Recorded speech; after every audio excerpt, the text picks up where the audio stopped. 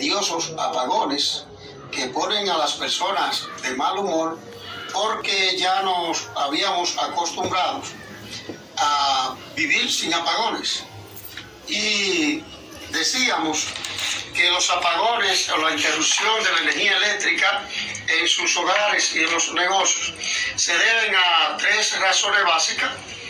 Eh, que se produzca una avería, eh, falta de generación, mantenimiento y a veces hay apagones financieros. Eh, tenemos una temperatura eh, bastante alta.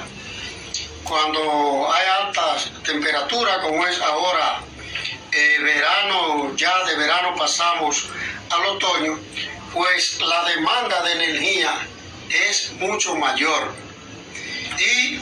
También en los tiempos de escasez de agua, pues la hidroeléctrica eh, eh, baja bastante el nivel de el nivel de del envase y eso también eh, provoca que baje un poco la generación. Entonces hay varias situaciones que se han presentado al mismo tiempo porque también la planta Punta, Catalina eh, se vio afectada por una escasez del carbón eh, mineral que utilizan para la, la generación. Pero quisiéramos dejar claro en los amigos oyentes que nos ven a través de la nueva 106.9 FM o a través de las redes sociales que las distribuidoras de energía es de norte, es de sur y es de este y no paga la, la publicidad, no tenemos ningún vínculo con ella ni tenemos por qué defenderla. Los, las interrupciones de la energía eléctrica no es culpa de ninguna de las distribuidoras, porque el nombre lo dice, distribuidoras ella distribuye la energía que reciben a través de la línea de alta tensión. Si no hay generación, no pueden servir la, energía necesaria. Entonces, parece ser que en esos días eh, la generación, el aporte de la energía, la generación ha disminuido eh, por varias razones.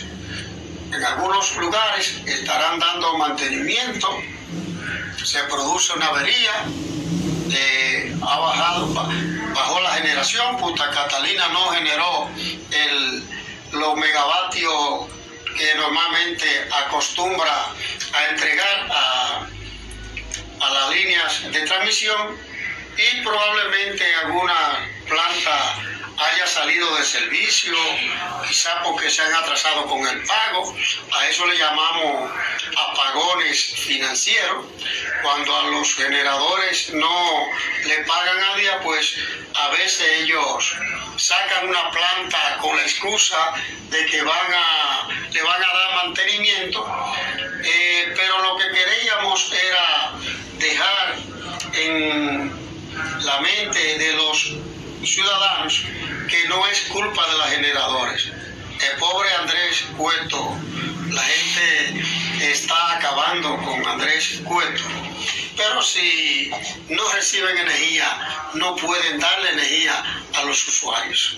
Así es que esperemos que quede esto un poco claro, sin el ánimo de justificar a nadie, pero esa es la realidad. Ojalá que en los próximos días pues se normalice eh, la energía eléctrica.